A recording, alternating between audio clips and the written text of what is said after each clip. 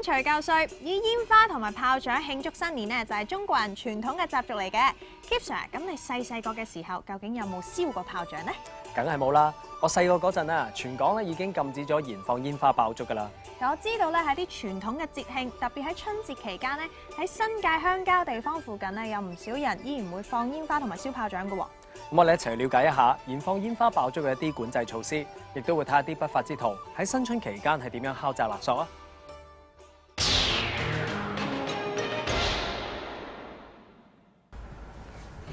所謂一元復始，萬象更新，中國人呢一直都好重視呢個節日。Adam 啊，為咗慶祝呢個日子，市民呢都會去唔同地方去活動嘅喎。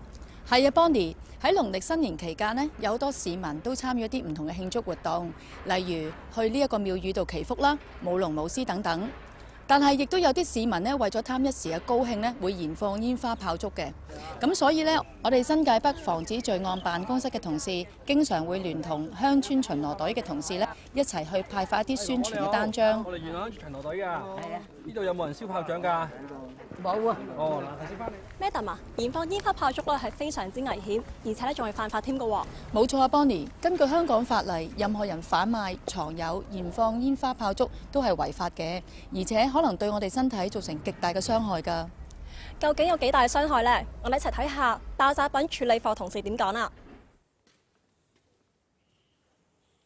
大家而家見到呢啲呢，就係我哋香港警方呢搜到翻嚟嘅煙花同埋一啲嘅違禁品嘅。喺我前面呢啲比較大型少少呢，就係我哋簡稱係禮花彈嘅一啲煙花。喺你燃點嘅時候呢，佢會係有一啲彈射物係會彈出嚟，都係一個距離非常之遠嘅。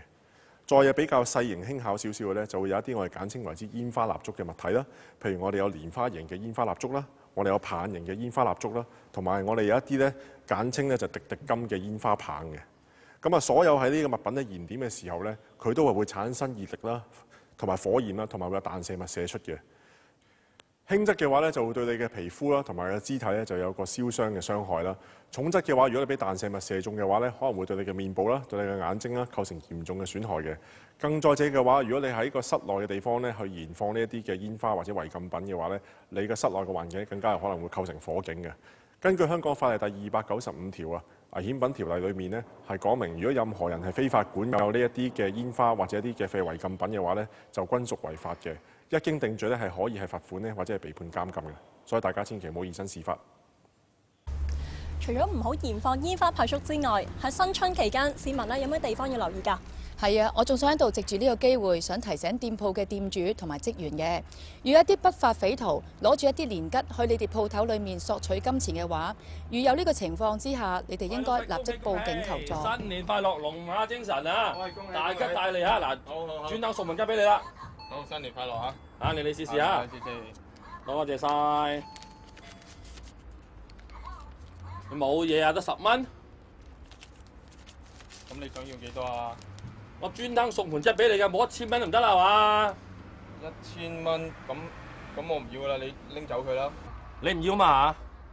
得，冇問題。轉頭啲兄弟會嚟招呼你噶啦，你生意做唔到啊？準備你一千蚊啦。